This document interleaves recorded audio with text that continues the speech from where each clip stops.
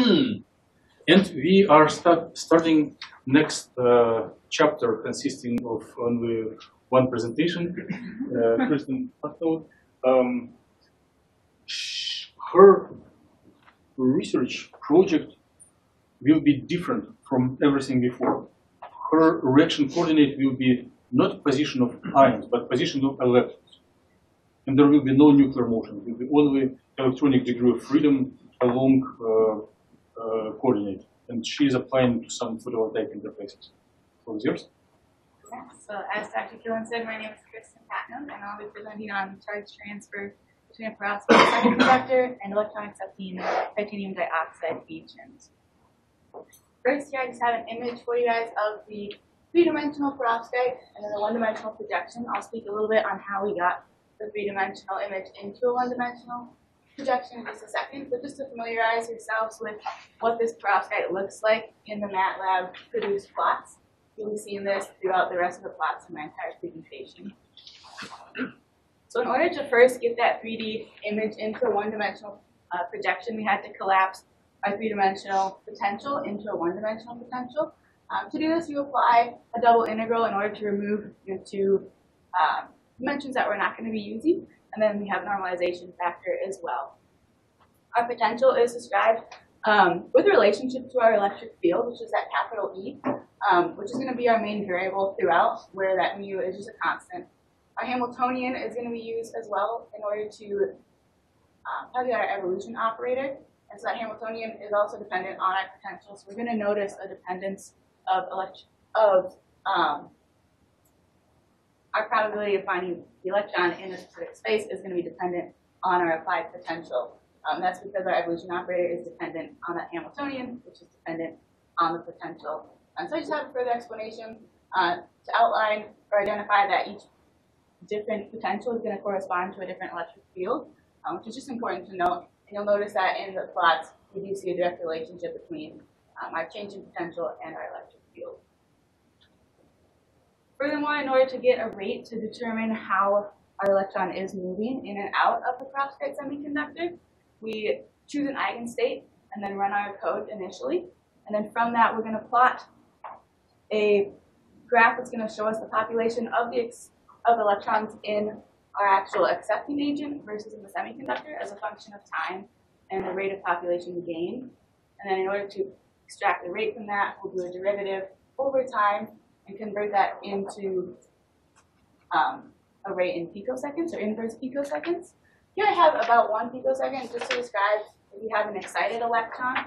You notice that at excitation orbitals about 7 to 9, the rate of transition from electron in the semiconductor to the TiO2 agent was about 1 inverse picosecond. Um, it's predicted that at an excitation, without excitation of the electron, that rate will be close to zero. So here I have an image to demonstrate what looks what happens when you have a non-excited non-excited electron versus an excited electron in the perovskite semiconductor. Without exciting the electron and without applying a field, there's not much movement in the electron. These are static images, I'll point that out right now. Um, but once you excite that electron, we see that it's almost impossible to predict where that electron would be, as the probability of it existing in any point of the semiconductor or the TiO2 agent um, is almost the same, and so it would be impossible to determine where it is in that system. So then to give a few videos of what this looks like when we have no applied field and our initial eigenstate at no excitation, we're going to see the electron move. And then when we excite the electron, not much is going to change in that motion. You'll see some differences in intensity, but it's unlikely that the electron is going to move in or out of that semiconductor. However, once we start to apply a field here, I have just a demonstration of um, potential versus, excuse me, um, this is all those colored lines are eigenstates for each respective potential. Um, just to demonstrate what we're going to do, we're going to start at an initial eigenstate of ground, a ground eigenstate, and then excite it up to about 7 or 9. And so in the middle is where we have no applied field, which is what we just looked at. And then we have both a negative and a positive field. And we're going to look at how those affect the electron's motion differently. So first, if you apply a positive field and you're at no excitation of the electron, the electron has a hard time moving outside of the semiconductor. To remind you, this middle section is our semiconductor, and then as we move this way, there we get to our titanium dioxide accepting agent. Then once we excite the electrons, here we've excited to a state of nine, we see a lot more motion of the electron, and it actually makes its way outside of the semiconductor and even starts to populate that accepting region. And just to remind you, we're moving on to then apply a negative field. And again, we're going to start at an initial ground state without exciting the electron. And then we'll excite the electron again to a state of about 9. And once again, we see that almost static electron inside the semiconductor.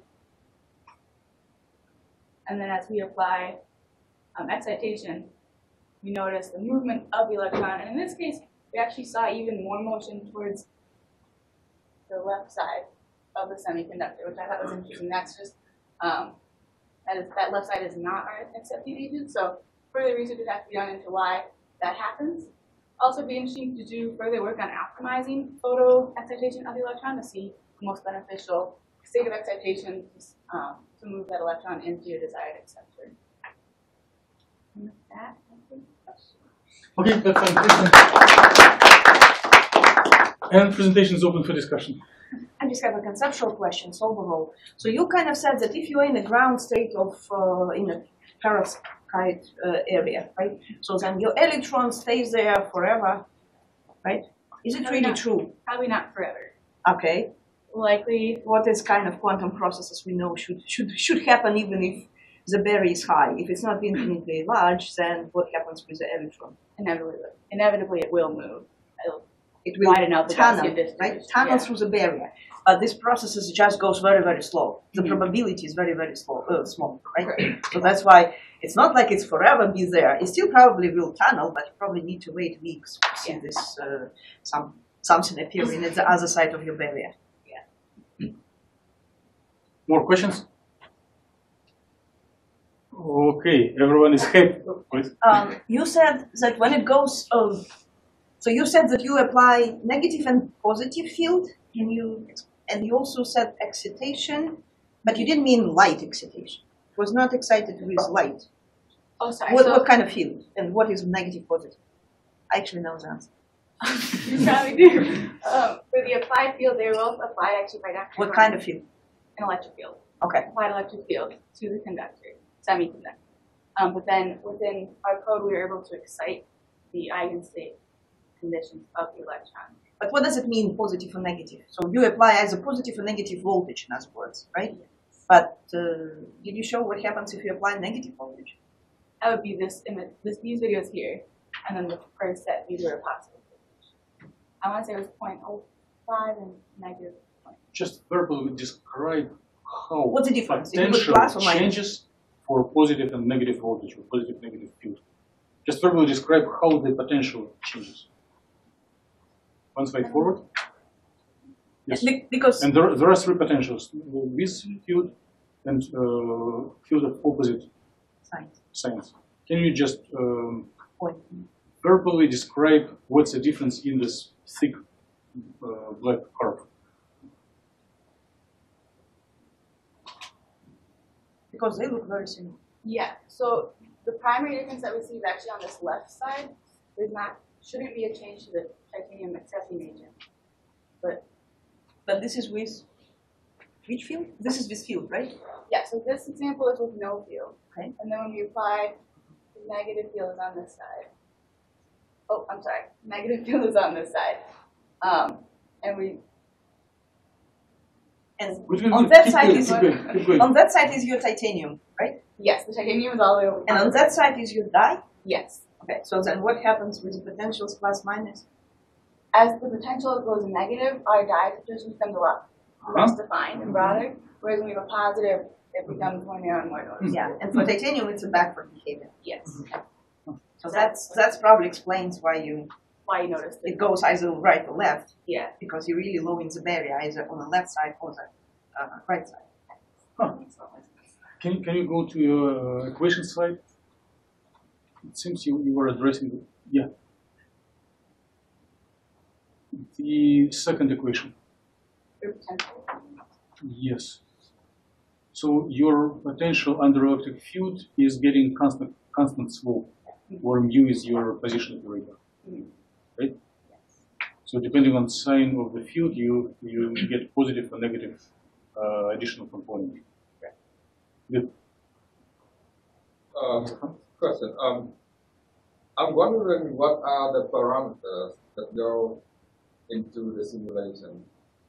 Um, for example, um, for every semiconductor, let's say the bandgap value is one of the value.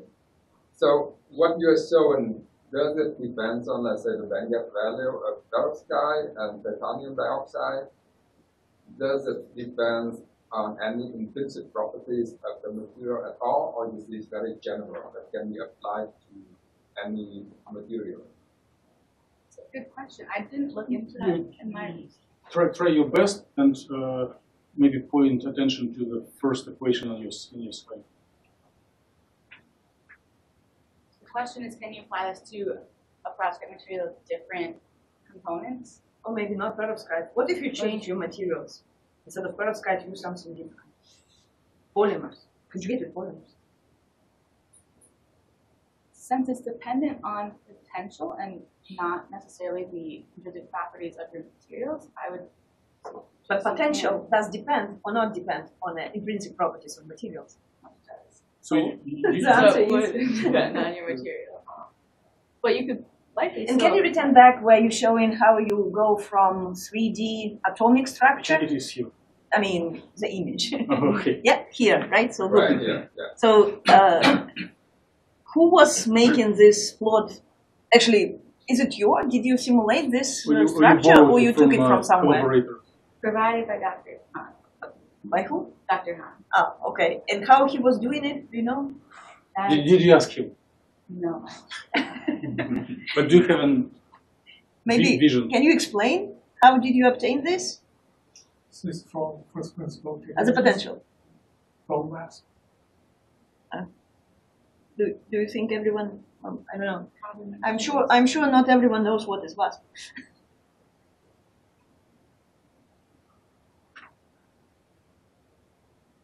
like. Well, you need to, to apply right special code which allows you to calculate the Yes. with some approximations you actually need to calculate the to, to solve the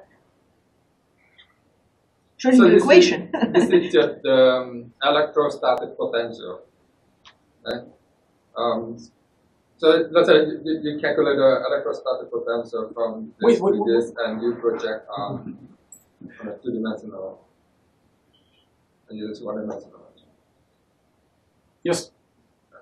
So it is uh, first principle data. Right. So this is this is you know this pair property is, is intrinsic to the property uh, to the materials that you're talking about, right? If you instead of um, if you replace let's say perovskite with something else, the curve is going to be different, yes. and then your final result is going to be different. And if the molecule is different, then probably you also will have slightly different shape for the right side for the potential. Same for the titanium. Yeah. It, of course, very strongly depends on the material. All right. More questions? Let's uh, thank Kristen once again for extending the, the, the questions. And now we are starting the uh, last chapter of, of three sections. So uh, if you uh, first uh, will be presented by Amelia Anderson, and uh, she will uh, help us to recall principles of uh, Bohr theory, which is behind atomic spectroscopy. Yeah, so like you said, my name is Amelia, and I did my project on the 2D rotation of Bohr model for non-equilibrium orbitals. Uh, some of the equations I used, I um, used this first equation, which was um, which converts angular momentum to polar coordinates, so we could um, plot the um, angular momentum in a way that we can understand it on the Bohr model. And then the second equation is uh, it shows the difference between kinetic and potential energies and how they're related to the Hamiltonian. Uh, my methods, I used a MATLAB code written by Dr. Kilin, and then um, I added the commands to automatically save the videos um, so I could upload those to YouTube later so I can add them to my presentation. Um, I changed the numbers of nodes and then reran uh, the code so we can uh, see how the nodes changes the angular momentum of the electron movement, and then we analyzed how uh, how those nodes affect the movement. Um, so here is just a polar standing wave, um, and the red line on there, they're all kind of overlapping, but just imagine with me, and we'll see them on later plots. Um, the red line is the real part of the wave function, and the green line is the imaginary part. And then the blue line is the combination of those, which is the red line squared plus the green line squared and the absolute value of that. And then um, the blue line shows the um, stability of the electron in each node and orbital. Um, so if the blue, um, later in the videos, if the blue line is um, pretty much unmoving, then the electron is going to be more stable. And if it's moving, then the electron is not stable and will um, quickly change so it will become more stable, and then it's less likely to undergo a transfer to a different node. Um, so here's the first node. Um, we, or I ran it with 1.56 nodes, and the you can see the very quick movement of both the red, green, and uh, the combination of the two in the blue line. So um, when there's not an even integer number of nodes, then the uh, then the electron is a lot less stable and it's going to try to get back to a more stable state. And then the second one, we did 2.02 nodes. Uh, so clearly those movements are a lot um, more stable and the combination of the red and the blue makes, or the red and the green makes the blue line unmoving. So this electron is uh, pretty stable in its condition and then moving forward, here's 2.64 nodes. And um, this is unstable once again because it's not an even integer. Um, and then finally, here's three nodes, 3.01 nodes. And um, this is stable once again. Uh, and that blue line is unmoving, so it's uh, happy in its current position. And then, um, so conclusions for this project was as the number of nodes change, the radius from the nucleus increases as the number of nodes increase. Um, if we go back and just compare the um, the radius of each of these, it clearly gets larger as we move forward, and the largest at three nodes. And then um, yeah, as I mentioned before, the even integer values create smoother movements and um, more stable atoms. And then the value of orbitals is two times the number of the nodes, so uh, there's one positive and one negative for each node. And then finally, we looked at limitations of the Bohr model, so it's only a 2D model, um, so it can't show uh, 3D movement, and uh, that led to the lack of understanding of what the electron would do in a 3D space some references in. Okay, thank you, Amelia. And the presentation is open for discussion. So you, in your conclusions, you said that you need an integer number for the um, for the nodes, right? Yes. So in other words, you need to quantize uh, your your momentum, your angular momentum should be quantized, right? And this is very valid, of course, statement Mhm. which you proved. However, you didn't show the results with three zero zero. You were showing three zero one, three two point something. Yes. Was it some? Is it an issue to get exactly the even number for your code, Um, or you just didn't show it to us because it's, We- it's not interesting? well, there's that. But um, the code did not run as well with completely even integers. We wanted to have um, three significant figures in each value of the nodes. So we just ran it not completely equal, but we got it as close. So in other words, there's some bug in your code which not allowing you to really get exactly integer number. Yes. So there's maybe some uh, numerical errors which Yes. results that you need you know, kind of a, a little correction, and you cannot really get the uh, exact even number. Yes.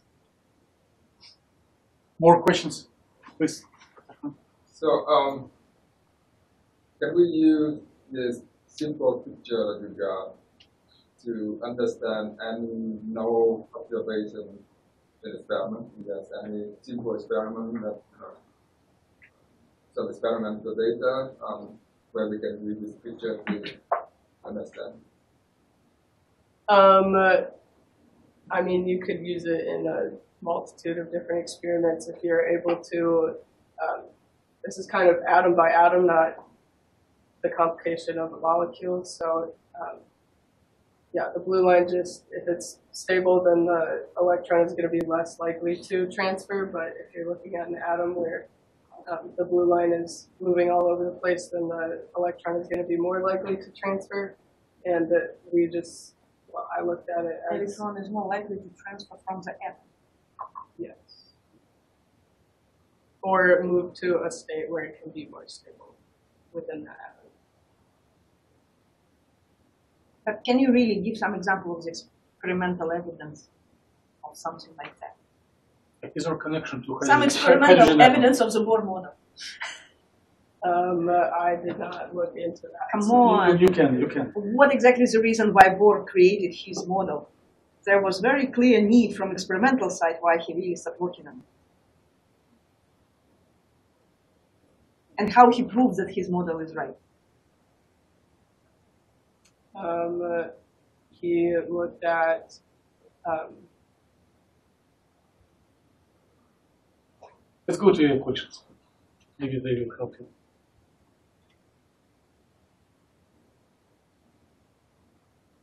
Yeah, so your, your last equation, uh, what, what does it tell? Um, at the values of even integers of nodes, the um,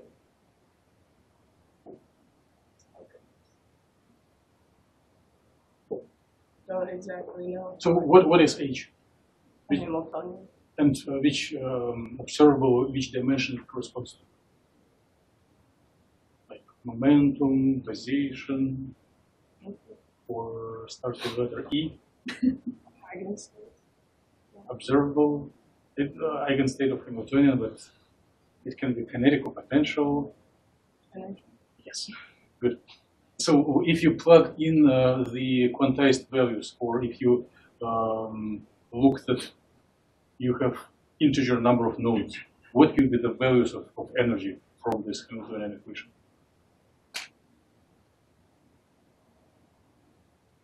Would you get different energies for different uh, values of your quantized L? And how is it changing?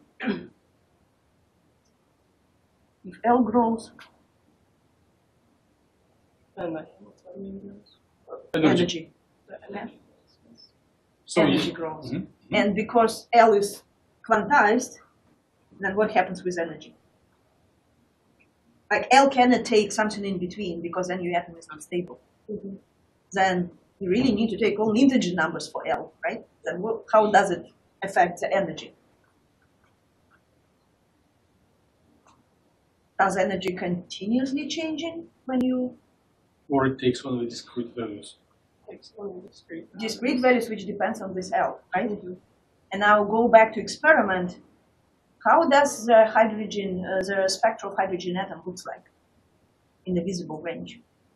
It's very discrete values. Actually, there are four discrete lines, right? And this was kind of a main puzzle. No one could explain before Bohr. Why is it discrete? Why is not kind of a distribution like you see from the black body radiation, which is just spreaded kind of distribution in all over, over all energies, right? And this exactly explains if you have one single electron in a hydrogen atom moving from the ground state to the first equilibrium, first, second, and so on, excited states, right? Results on the discrete energies. If they go in a visible range, you really can see them just by eye. And, and this is evidence of this uh, model, it works. He was able to use this model and predict these energies, which then were compared with the hydrogen atom spectra, and they looked very nicely there. Agreed. I'm not sure whether you were thinking about this experiment. I mean, I mean, you know, people propose a model for purpose.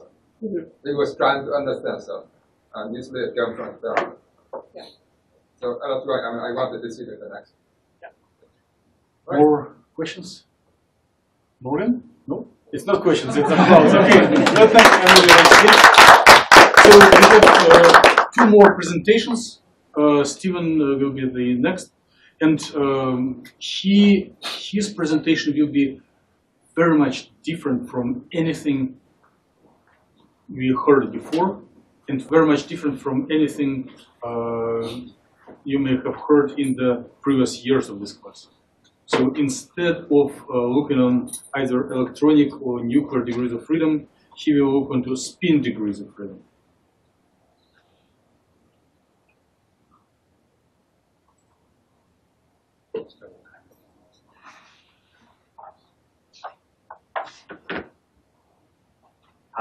Hi, my name is Steven Westra, and as Dr. Kilin said, I'll be talking about uh, spin degrees of freedom. specifically We cannot hear you. Can Oh, you sorry. Talk a Do little bit louder. you need to launch uh, the presentation mode? Oh, right, right, right.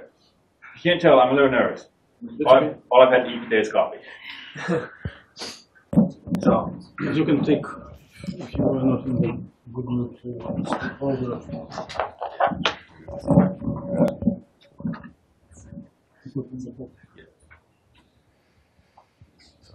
Hello? Uh, yeah. Can you all hear me now?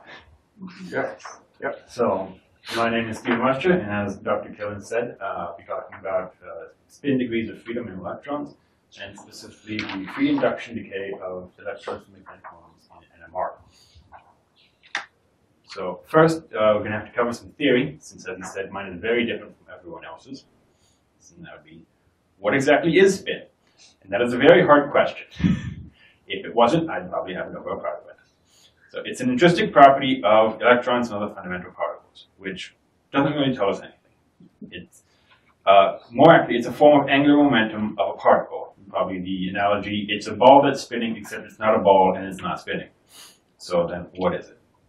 Well, specifically, the spin number of an electron is the eigenvalue of a wave equation for the k number of states where the wave function is an eigenfunction of s hat z for the summation of k terms of s hat z k. That would be the uh, basically the z uh, value for a uh, a vector of uh, magnetization, basically. So that allows us to see that they'd be represented by a sphere, basically. That'd be a Bloch sphere. What is a Bloch sphere? It's a geometric, geometric representation of a qubit where the poles of the sphere represent the 0 and 1 states. Uh, more usefully, it's a way of visualizing the magnetic vector of a spinning electron as it moves uh, through a magnetic field. So we have our magnetic vector is equal to uh, g summation of k of the sk of time t, where the sk is the combination of the x, y, and z components of the vector, which are controlled by uh, these uh, equations, which I will show later. So, now what is a spin echo?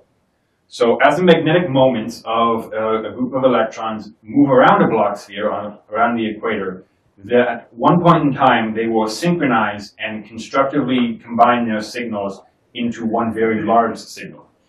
Now, the exact time that this happens for an atom is unique to each atom and to each electronic environment, or so how it's bonded uh, for every single state that there can be. This is the principle behind how NMR spectroscopy can differentiate elements and atomic structure this way. And now we have a very, very messy graph. So what's happening on this graph is that all of our uh, electrons in the magnetic moment, in the ensemble, start at the same level. The uh, pulse, the half pi magnetic pulse that brings the electrons from the poles of the mag of the Bloch sphere onto the equator, which is represented by these two lines, at which point the varying uh, individual frequencies that they move around the equator, uh, which is dependent on their individual electronic environment, cause them to diverge into these various uh, purple and yellow-orange lines until they reach the pi pulse, which uh, flips them 180 degrees in the sphere. And as you can see, that changes the way so now instead of diverging away from one point on the sphere, they are now on the opposite side, converging towards a separate point on the opposite side, which is represented here and here. And so we have two identical signals, despite the fact that they are now in different places in time and space.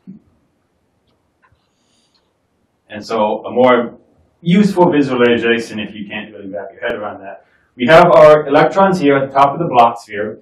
which are then moved to the equator by the 90 degree or half pi pulse, so that they're now in the xy plane of the sphere.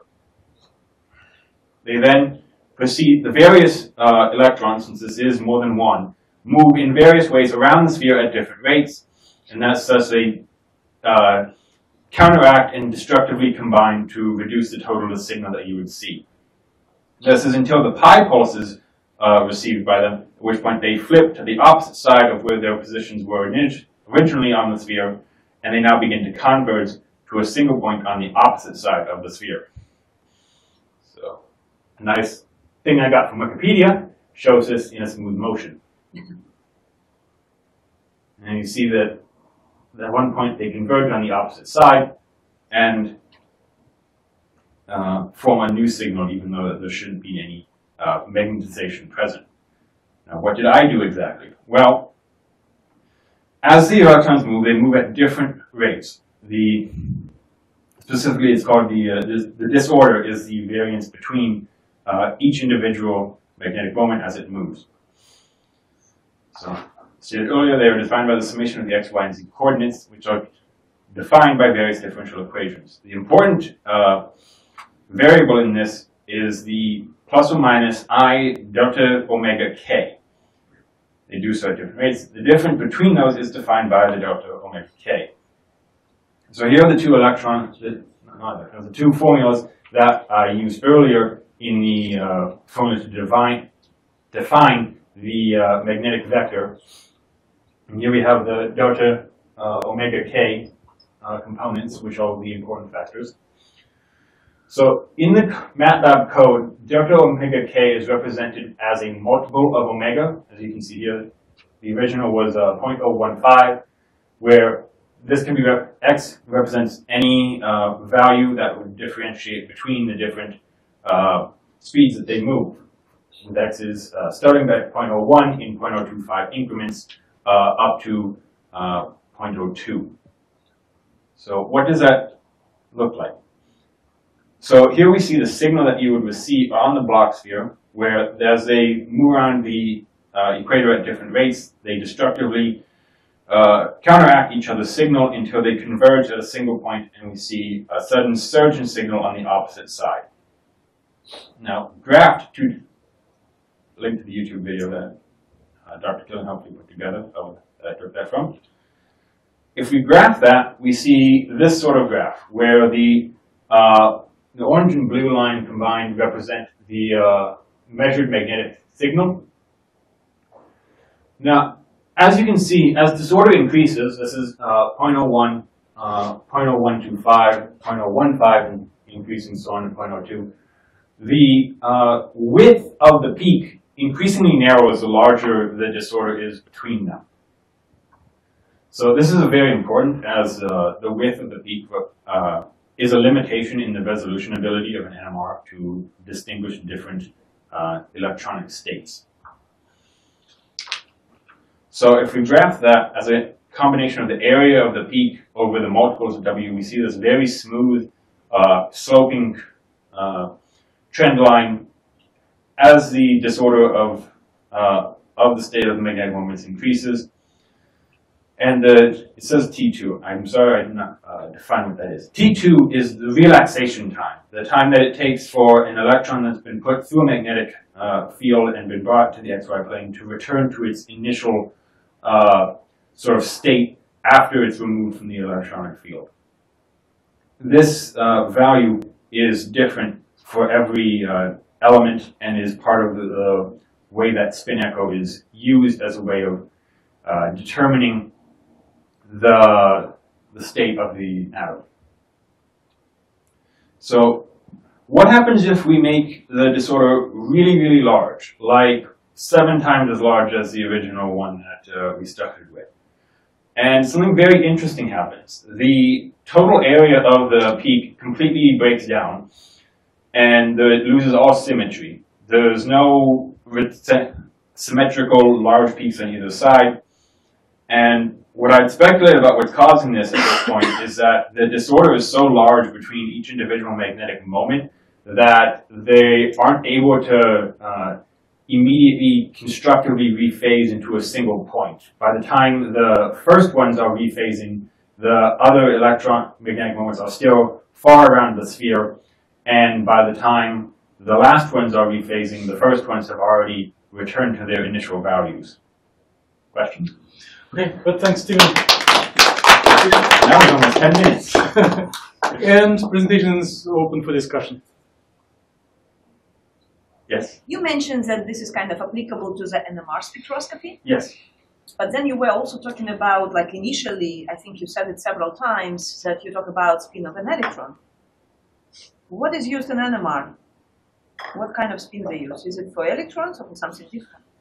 Might have confused some there, but the important part is that uh, So- it doesn't change the overall, how to say, physics and uh, formulas which you were showing. Algebraic processing In an atom, are there anything else which has spin, or it's only electrons which do have spin? it's What about protons? all uh, elementary particles and quarks have spin. However, in the nucleus of an atom, they believe they are counteracting. Is proton a fermion or not? No. A proton, a single proton. Yes. Proton is a fermion, right? But if if, if you cre- if, if you talk about nucleus, right, depends on whether you have even or odd numbers, and they might be not. So in NMR, it's the same idea, but my understanding is that they talk about the spin of the nucleus, spin of the protons. So in, in your talk, you can uh, replace only one letter if you want to speak about electrons. Instead of NMR, EPR. EPR, yes. Mhm. More questions to Steven? If not, then thank you once again. Please uh, leave it here. So the uh, next presentation uh, is by John Swanson. So um, his presentation will be also very unlike and similar to anything you heard before.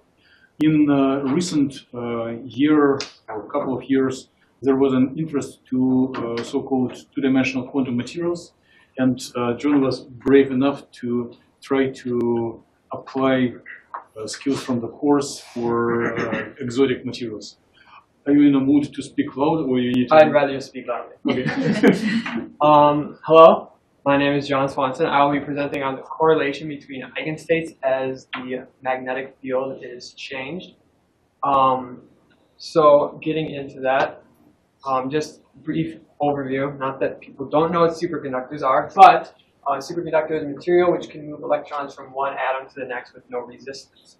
And so this is often researched on low temperatures, bringing metals down to low temperatures. They can become superconductors in many cases. Um, but one area of research that maybe isn't as looked into or known about is the application of magnetic fields um, to form superconductors in metals. Because I know metals oftentimes, when they are superconductors, give off magnetic fields, but inducing them with a magnetic field may have um, a similar result to bringing it to low temperatures if we look into that a bit. So, some basic methods of research. Um, there's a MATLAB code that was used to do this experimentation. I'll get a little bit into what was behind that. And so through this, we um, took the eigenstates that were found through this code, and they were converted to density of states um, across energy. And then that was used to determine if a superconductor could be formed based on how the density of states um, reacted. And so some equations that were helpful in doing this. Um, this first equation relates the Hamiltonian to energy in the eigenstates. Um, and a lot of these are really intertwined, so actually doing this computationally may be incredibly challenging, which is why a code was because I'm not sure I could do any of this by hand.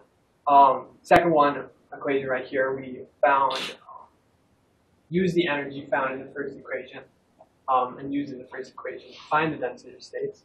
And then moving past that, this equation is used alongside this once this is solved and it can be plugged back in, as you can see here.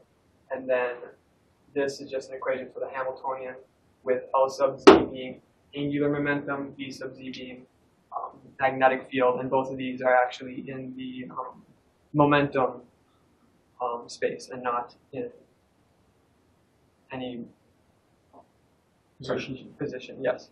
What is LU and HO? Okay, so LU is the lowest unoccupied molecular orbital, highest occupied, and so for this one, lowest is um, calculated using positive, highest using negative.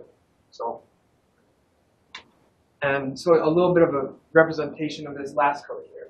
Um, this is this cone is kind of what that equation looks like when mapped out in again in the momentum space, and this ky and kx are represented as px and py here.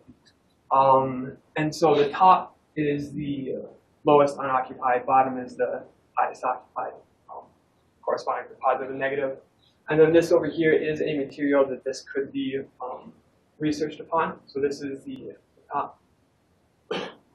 This is a model of layered um, bismuth telluride, and it's just one of the um, lattices of that. And so this is something that the experimentation done could be done upon. Okay, so for the actual data, um, at the bottom here, these are the eigenstates um, across energy that were found through the experimentation. And above each of these um, is a corresponding density of states that were found um, when converted. So these first three, this is throughout the slides I'll show. This is as the magnetic field increases. And these first two are pretty similar. As you can see, this is the density of states um, of the holes where there weren't electrons in the uh, lattice, and then of the electrons found. And the dotted line you'll see is the combination of the two of those. So nothing really too interesting here. Um, as the magnetic field was increased even more, um, it was started to see that there was a bit of a dip here, which started to grow, as you can see in that last one, almost forming a peak. Um, and then finally, uh, here we can see this is the strongest peak that was found through this experimentation. I'm sure it could be found stronger if you were to get to closer values, but this is what was found. Um, and then it started to dip down. And so what was determined from seeing this peak in the density of states is that it is evidence for a superconductor. Um, I believe you can look look at Fermi's golden rule for showing that when the density of states increases at a specific energy um, so sharply, it could indicate that a superconductor is being formed. And so, again, it, it flattens out afterwards, but that is, as a magnetic field is increased, that is something that is known to happen for density of states. So that doesn't prove this is true, but it gives further evidence that this is reliable.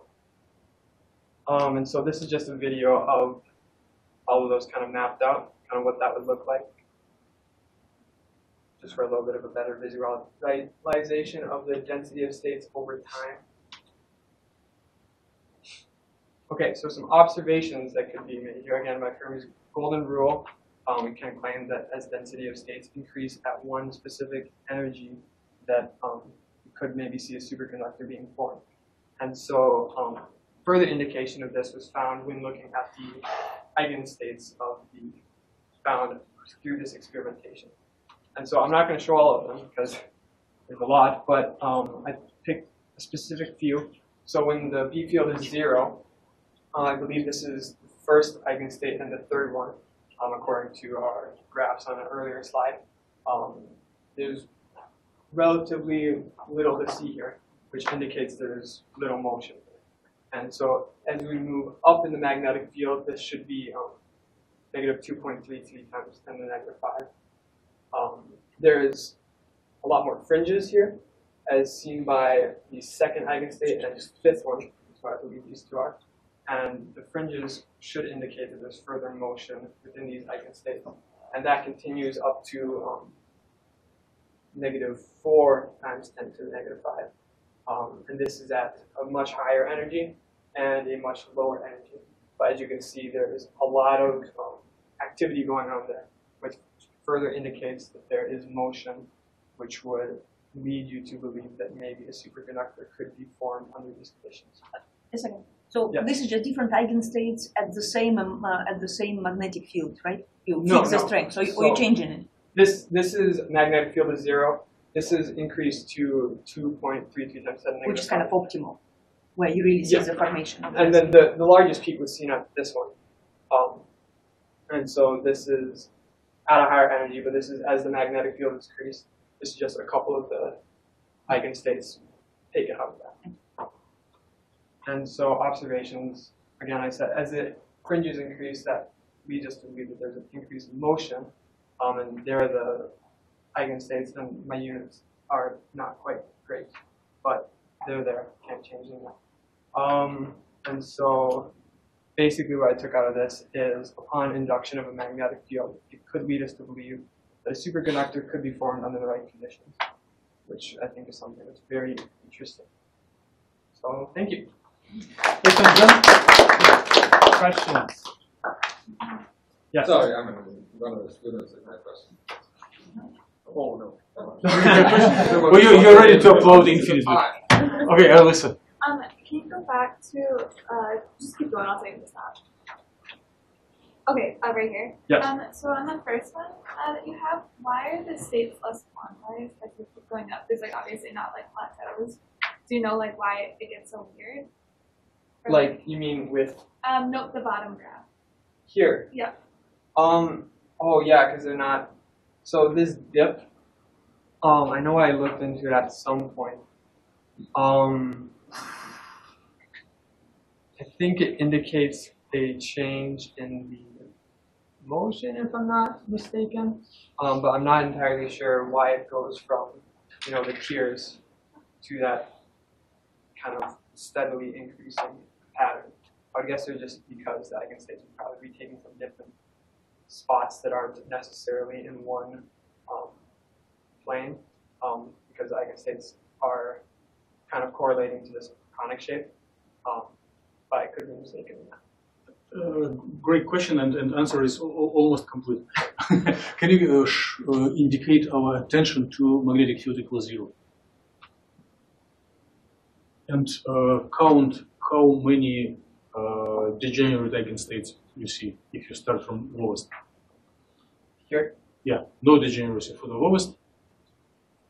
And next one, how many? How many? How many? Four. four. Yes. Okay, now let's go to your eigenstates at the very end. I mean here. Eigenstates, not uh, Oh, I see what the, Yeah. yeah. So, um, can you explain how this degeneracy one and four relate to uh, your eigenstates with zero field? Hmm. So this is at zero energy. Z- Um, zero magnetic field. Zero, thank you. And zero zero. magnetic field. And so um, at the degeneracy of one and four, you can see that both of these are, um, well, they're basically the same, at least in this, which indicates that both state there's little interaction, but not exactly sure that's what you're getting at. Does momentum, uh, he- he's on the right way. We, we, we, we will complete the thought, and thank you much, Elisa, for, for great question. Um, is momentum changing or conserved in absence of magnetic field? It appears to be considered. Conserved. So uh, if you create a state with very certain value of momentum, delta function of momentum, is there any mechanism to, to disturb it? No? No. So uh, on your grid points for different values of momentum, please keep keep this uh, eigen. On uh, any value of grid point, the delta function certifying very specific value of momentum will be an eigenstate because there are no reasons to change eigenstate. Right? And uh, if you take uh, square lattice grid points, how many nearest neighbors are close to 0.0? You, you already answered, but if, let's uh, focus on the um back.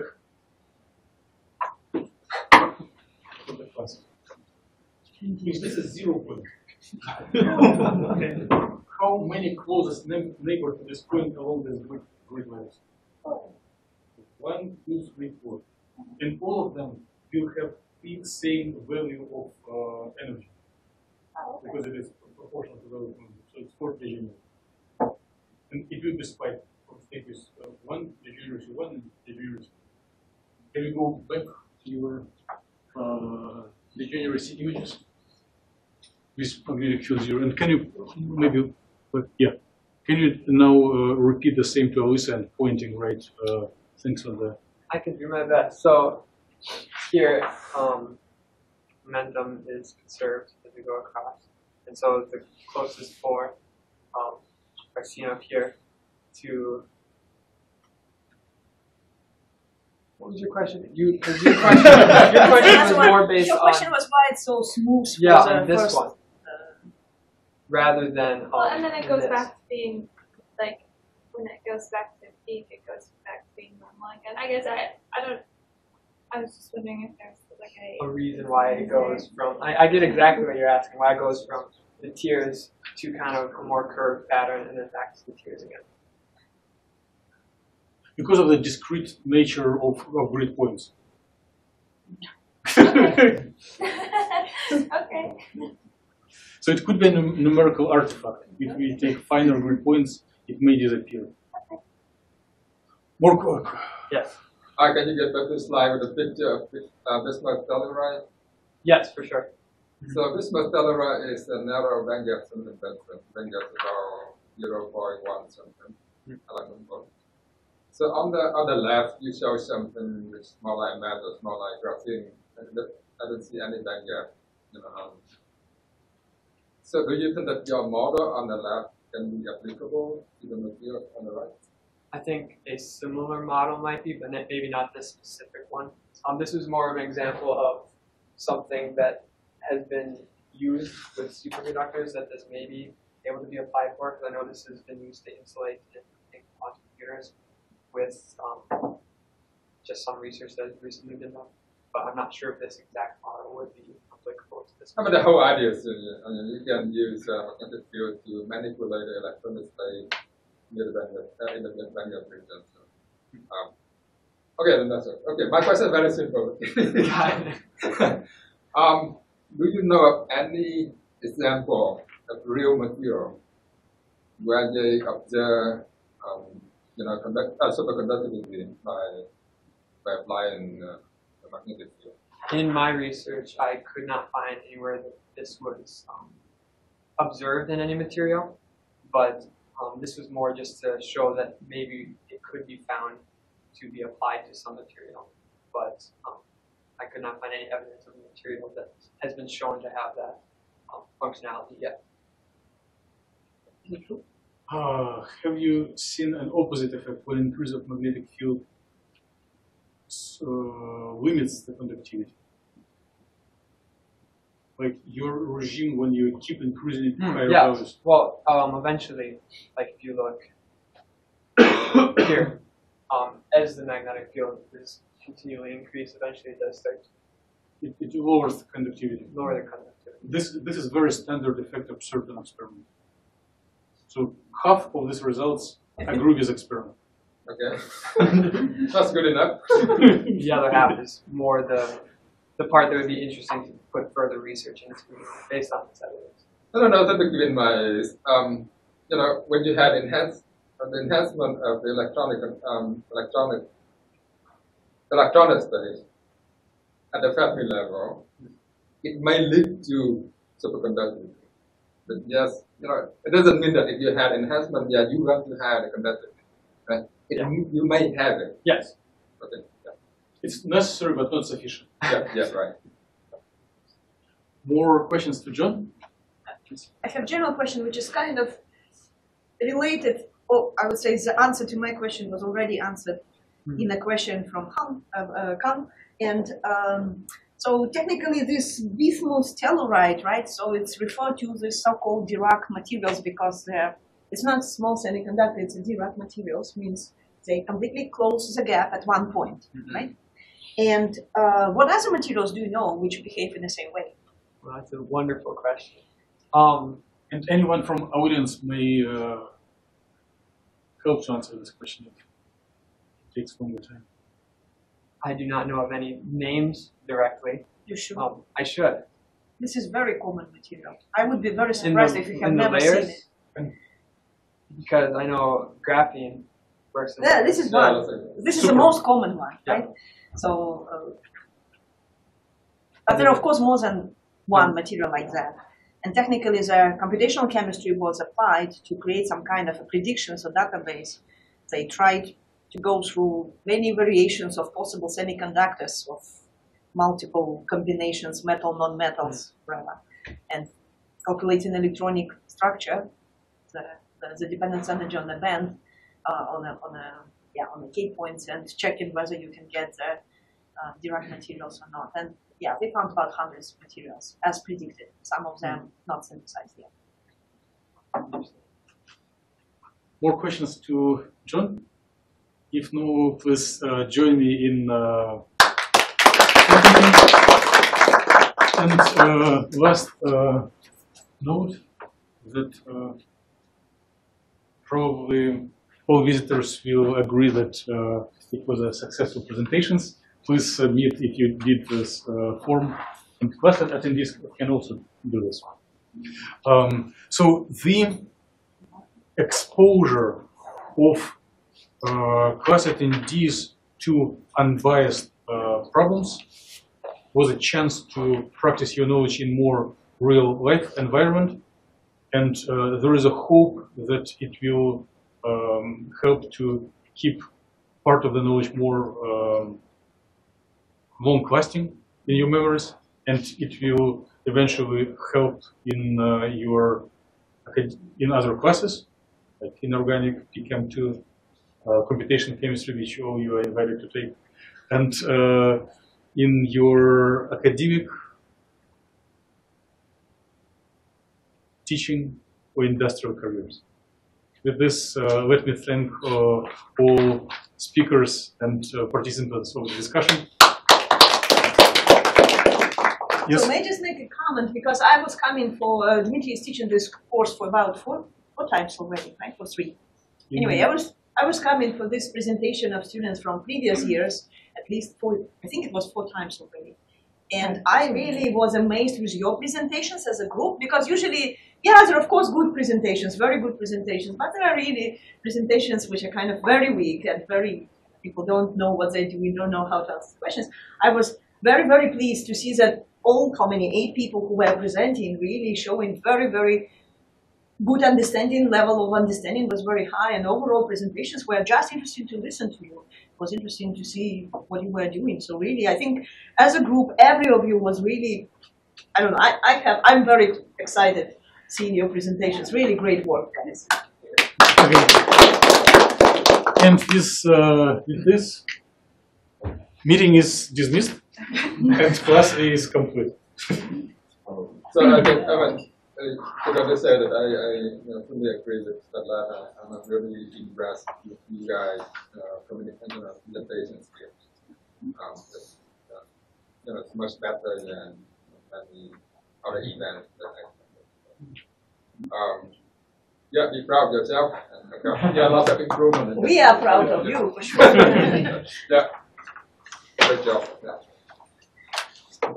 Dr. Philip, we have some. Mhm.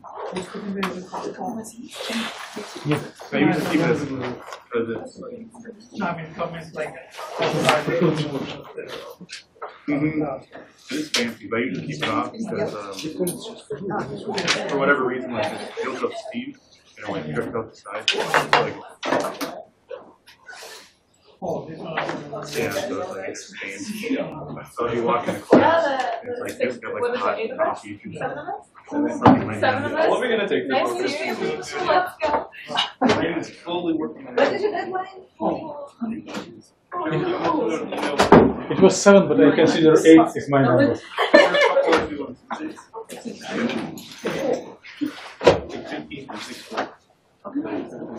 Yeah, I'm definitely doing it time, but Oh, you're gonna I love it. to do- I love it.